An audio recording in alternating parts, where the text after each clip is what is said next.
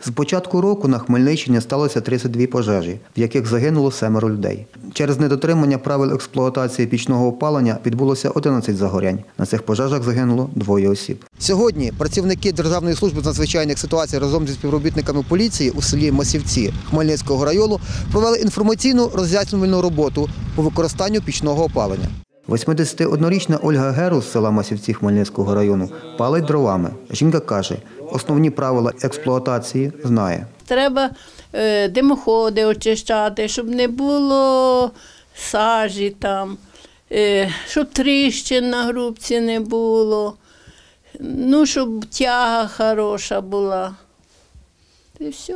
Магазин у селі Масівці щодня відвідують не менше 30 покупців, розповідає приватний підприємець Анатолій Стефанюк. Для обігріву приміщення чоловік також використовує пічне опалення. Таким пічним опаленням користуємося десь 2-3 роки. Ну і протяжність добового опалення десь становить з 10 години ранку до 5 вечора, там до, до 17.00.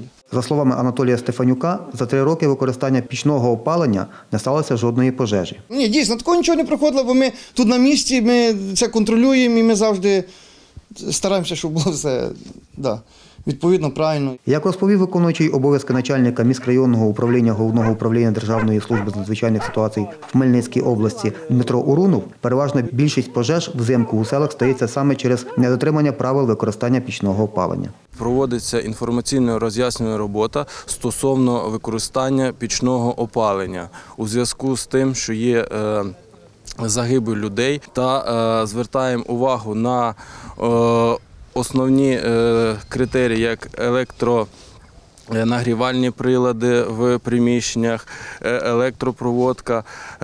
Основну масу ми е, залучаємо на такі версти населення, як незахищені версти населення. Це є одинокі пристаріли, е, багатодітні сім'ї та неблагонадійні. 90% в зимовий період е, причинами пожежі є е, необережність під час експлуатації пічного опалення в сільській місцевості. За словами Дмитра Урунова, подібні рейди проводитимуться в області кожні вихідні до кінця січня місяця.